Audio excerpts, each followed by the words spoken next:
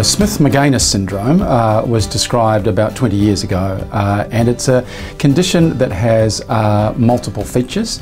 In children it's a delay uh, in both their what we call their motor development, so they're slow to learn to walk and there's also often very delayed speech development and this goes hand in hand with a variable degree of intellectual disability. So children are often slow to develop but they do eventually attain their milestones. My daughter's name is Indiana. She's two and a half years old and was diagnosed with Smith-Magenis syndrome when she was nine weeks old.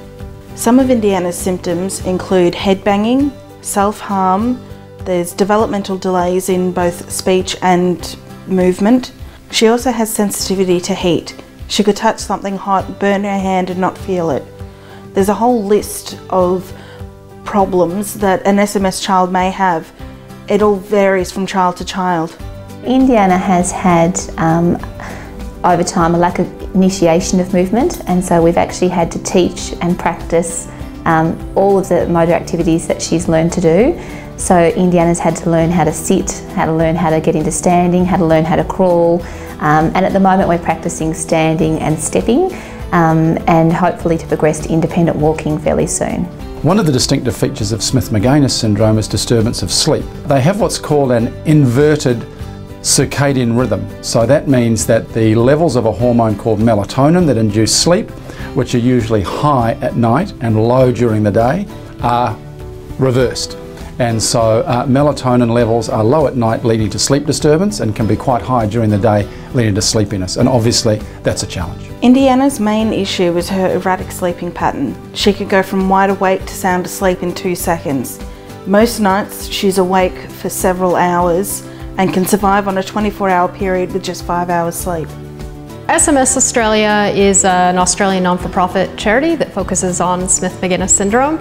Uh, it's founded by a group of mums um, who all have children with uh, Smith-Magenis syndrome and it was really to start raising awareness, create a sense of community because we're a very small community so being able to have representatives in each state that can do activities, um, bring people together. So we have picnics a couple times a year um, that we get everyone together and the families. We have you know, a range of kids of ages and sizes and, and parents and it's really to garnish that community and then raise awareness through social media campaigns, um, through a website. We understand the statistics are 1 in 25,000 should be in the population, but obviously it's much less than that. You know, we should have thousands of SMS diagnoses and it's just very underdiagnosed. So it is hard um, in a lot of ways to raise awareness because you don't have perhaps or you know people in the media that you know are raising that kind of awareness. So it has to be very grassroots.